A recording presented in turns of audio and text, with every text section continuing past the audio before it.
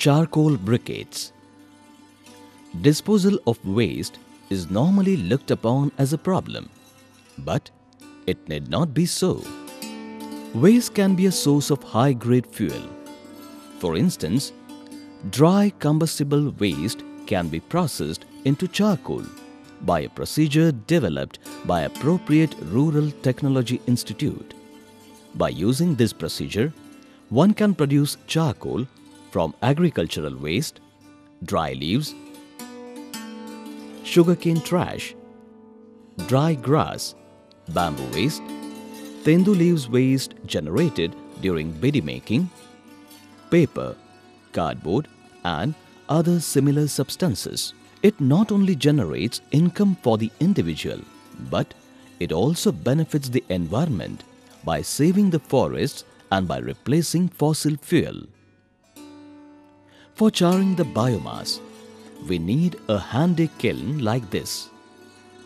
It consists of a 200-liter steel barrel which serves as a biomass pyrolyzer and a lid and a chimney that fit on top of the barrel. All the parts are provided with handles like this to make manual handling easy. In addition, one also needs a container with a tightly fitting lid for storing the charcoal produced in the course of the day. The biomass is charred in the pyrolyzer. The air needed for this process is supplied through a set of 13 holes punched into the bottom of the pyrolyzer and 12 holes along its sides. The kiln is portable. It is carried to the site where biomass is available. During operation, the kiln is kept on three bricks or stones like this. The biomass is filled into the pyrolyzer like this because the process of charring needs a steady supply of air. The biomass should not be packed tightly. The recommended weight of paper or cardboard should be about 5 kilograms. Sugarcane trash or dry leaves should not weigh more than 6 kilograms, whereas stalks of cotton or pigeon pea may not weigh more than 12 kilograms. After filling the pyrolyzer with the biomass, sweep away the remnants fallen on the ground around the pyrolyzer. Ignite the biomass like this from the top and after it has caught fire, place the lid on the barrel and also place the chimney on the lid. Water may be sprinkled around the kiln. Grass leafy biomass and cardboard take about 15 minutes to char. Whereas stalks of cotton or pigeon pea take around 20 minutes.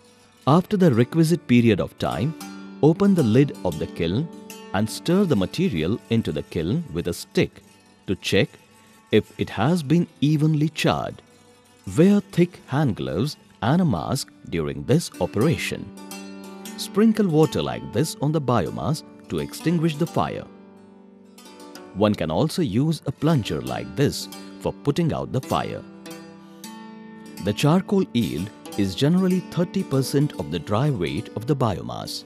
In the case of grass, leaves or paper, the charcoal is powdery. Whereas in the case of stalks of cotton or pigeon pea, it retains the original shape of the stalks. Fill the charred material into another container, provided with a tightly fitting lid. If the char has not been wetted or if the lid of the char container is not sufficiently tight, the char may catch fire again. Make cylindrical briquettes or tablets like this by mixing the char with starch paste as binder. The briquettes are made by using a machine called an extruder and the tablets are made with the help of a mold. Flour fallen on the floor of the flour mill is an excellent low-cost source of starch. Use 1 kg of flour for 10 kg of char. Boil the flour in water to make starch paste and mix it thoroughly with the char. This mixture is then passed through an extruder to make briquettes. One can use any one of the following three types of extruders. Manual extruder. This is a small, low capacity machine for producing char briquettes on a household scale. It is fixed to a wooden board or a table for stability.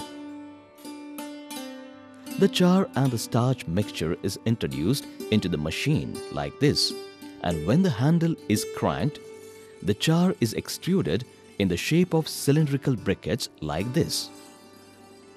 This machine can deliver briquettes at the rate of about 10 to 12 kilograms per 8 hour shift. Small electrically operated extruder. This is a slightly larger extruder fitted with an electric motor of 1 horsepower. It can produce about 50 kilograms briquettes in an 8-hour shift. It is useful for small enterprises. Large Commercial Extruder This is a large machine requiring 3.5 horsepower to run it. It produces about 24 kilograms briquettes per hour.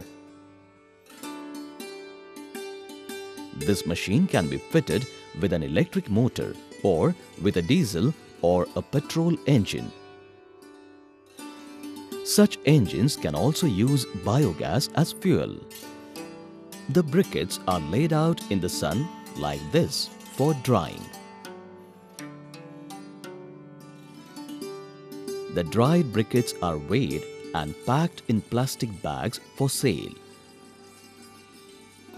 One can also make round or oblong tablets like this by using a mold. If the raw material is abundantly available for making charcoal, one can even use 5 or 6 kilns simultaneously at the same site.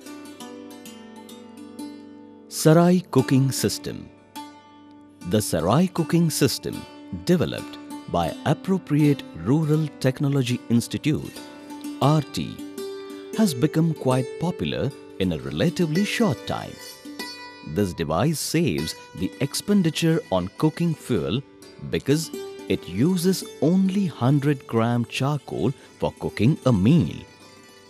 The Sarai system consists of a charcoal brazier, an outer cylindrical jacket, a steam vessel, three food containers and a sling that holds the food containers. All the components are made of stainless steel. This system is available in three sizes. The smallest one, having a capacity of 5 liters, is meant for one or two persons. The medium size, having a capacity of 8 liters, is meant for a family of 4 to 5 persons, whereas the large one, having a capacity of 12 liters, is meant for larger families having 8 to 10 members. Before starting the process of cooking, place a single layer of charcoal into the brazier. Ignite the charcoal with the help of a strip of waxed paper. The waxed strips are made by soaking paper strips in molten candle wax. The waxed strip is lit and inserted into this hole in the brazier below the charcoal. The three food containers carry three different items of food such as pulses, beans and vegetables along with the requisite amount of water. Pulses are placed in the lowermost container because they are the hardest to cook. Oil, salt and spices may be added to the vegetables. This larger container is the steam vessel. Pour about one and a half cup full of water into it. Hot water is preferable to cold water. Place the three food holders into the steam vessel. Close the steam vessel with its lid and place the entire assembly into the outer jacket. Place the outer jacket on the lighted brazier like this. Cooking the food takes about 50 minutes in this system. If the steam vessel is not opened, the food remains warm even up to 2 to 3 hours. The ash left in the brazier can be used either for cleaning pots and pans or as a fertilizer in the case of house plants. Advantages of using the Sarai cooking system. It reduces the expenditure on cooking fuel. In villages, the charcoal left in a wood-burning stove can also be used in the Sarai system. Because the food is cooked slowly at low temperature, the nutritional value and taste of food are improved. Because there is no buildup of pressure inside the steam container, Sarai system is totally free from the danger of the safety valve, gasket or lid being blown off there is no need for the housewife to tend to the system while the food is being cooked. One can carry and use this system while traveling. It is very convenient to cook special diets of the elderly and the sick. It can be used for cooking meals and seafood. Many other items of food such as idli, khaman dhokla or even cakes can be made in this system. One can also use it for cooking maize cobs and groundnut pods. Because the char briquettes are made without cutting trees, they represent an environment-friendly fuel. Because the briquettes burn cleanly, without smoke or soot, the atmosphere in the kitchen remains pollution-free and the kitchen remains clean. The system can be used in huts, bungalows and also in apartment houses. This system has become very popular among housewives. In the rural areas, it is sold through stalls in local exhibitions and fairs and also through women's self-help groups. For developing the process of making charcoal from agricultural waste, our institute, ARTI, received the Ashden Award for the year 2002.